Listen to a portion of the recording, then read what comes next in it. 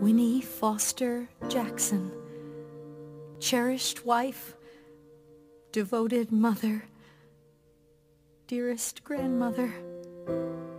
Expert fisherman. Looks like she led the life we never could. May she rest in peace. It's so weird, Winnie, a ripple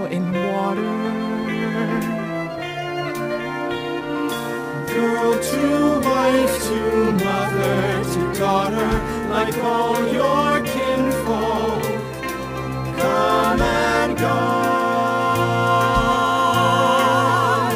Can't stop growing, growing, changing, then move.